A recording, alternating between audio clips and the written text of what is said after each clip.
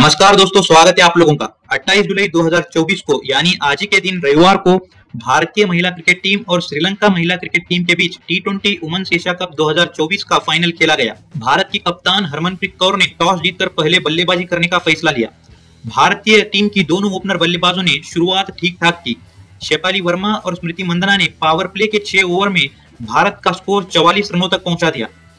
पर अच्छी बात यह थी कि भारत ने पावर प्ले में कोई भी विकेट नहीं खोया था। पर अगले ही ओवर में शेफाली वर्मा को कविशा दिलहारी ने एलबीडब्ल्यू आउट कर दिया। इसके बाद अगले पाँच ओवर में भारत ने उमा छेत्री और हरमनप्रीत कौर का विकेट खो दिया। स्मृति मंदना क्रीज पर चट्टान की तरह एक ओवर को संभाला हुआ था। तेरहवें ओवर के बाद भारत का स्कोर तीन विकेट खोकर नब्बे रन तक पहुँच चुका था। इसके बाद स्मृति मंदना ने अपना टी ट्वेंटी में छब्बीसवा अर्धशतक पूरा कर लिया।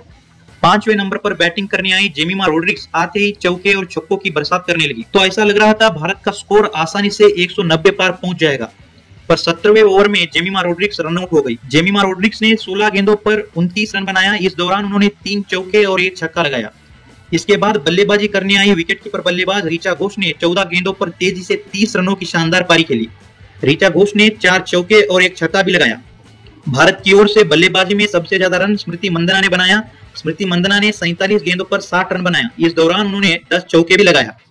श्रीलंका की ओर से गेंदबाजी में कविशा दिल्हारी ने चार ओवर में 36 रन देकर दो विकेट झटका।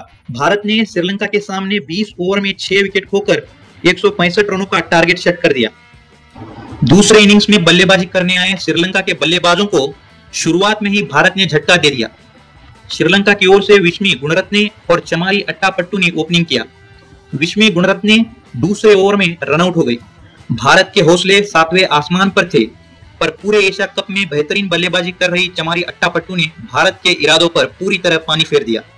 चमारी अट्टापट्टू ने नौ चौके और दो छक्कों की मदद से तैतालीस गेंदों पर इकसठ रन बनाया। तीसरे विकेट पर बल्लेबाजी करने उतरी श्रीलंका की हर्षिता समर विक्रमा ने इस पूरे एशिया कप में पूरी तरह फ्लॉप रही थी। पर फाइनल मैच में हर्षिता ने इक्यावन गेंदों पर उनहत्तर रन बनाया इस दौरान उन्होंने छह चौके और दो छक्के भी लगाया कविशा दिलहारी ने 16 गेंदों पर 30 रन बनाया।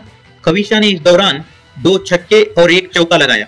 इस मैच के दूसरे इनिंग्स में श्रीलंका ने भले ही दूसरे ओवर में पहला विकेट खोया, चमारी अट्टापट्टू और हर्षिता समर विक्रमा ने 90 रनों की पार्टनरशिप की और इस मैच को श्रीलंका की ओर पूरी तरह मोड़ दिया। इसके बाद हर्षिता और कविशा ने मोर्चा संभाला।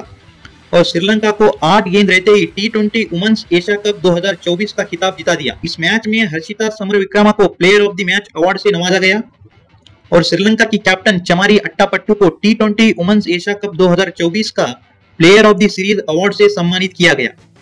वुमेन्स एशिया कप की शुरुआत 2004 में हुई थी। तब से अब तक टोटल नौ बार वुमेन्स एशिया कप खेला गया है और नौ बार टीम इंडिया ने फाइनल खेला है। भारत ने छह बार श्रीलंका के खिलाफ एशिया कप का फाइनल खेला है। जिसमें पाँच बार भारत ने श्रीलंका को धूल चटाया है, पर इस बार किस्मत श्रीलंका की ओर थी। इसीलिए Sri Lanka T twenty women's Asia cup 2024 का खिताब जीत गई। श्रीलंका महिला टीम का ये पहला वुमेन्स एशिया कप का खिताब है। 2018 में बांग्लादेश ने एशिया कप का टाइटल जीता था और सात बार टीम इंडिया ने एशिया कप का खिताब जीता है।